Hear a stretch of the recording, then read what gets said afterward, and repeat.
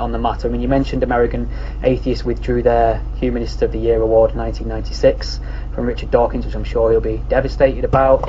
Um, uh, American Atheists spoke about his sort of rhetoric lending itself to anti-trans violence.